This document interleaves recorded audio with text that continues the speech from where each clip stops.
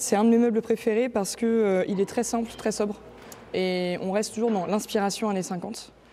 Et euh, il suffit vraiment d'une petite touche colorée euh, pour apporter vraiment toute la simplicité.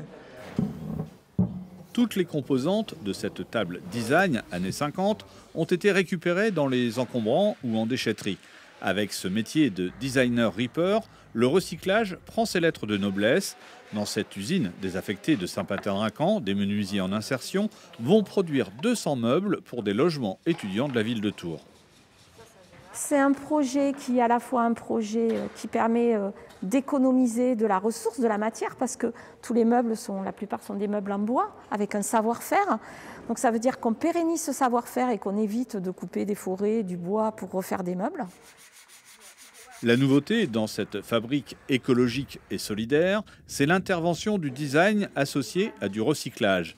Un process qui valorise ce mobilier de récupération, mais aussi ceux qui les fabriquent.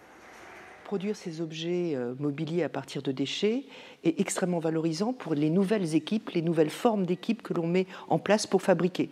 Donc des gens d'insertion, qui viennent se former, mais, pas, mais se former vraiment à un métier, des jeunes designers qui deviennent des designers reapers, c'est-à-dire qui vont chercher la ressource euh, dans les encombrants ou dans les recycleries. Recyclage, circuit court, insertion, le tout à la mode des années 50, une époque au cœur du projet de réhabilitation de la future résidence étudiante ammeublée. Bah, c'était important qu'on puisse être vertueux.